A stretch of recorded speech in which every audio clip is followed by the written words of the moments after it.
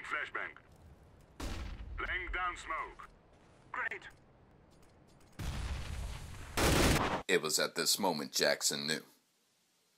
He fucked up.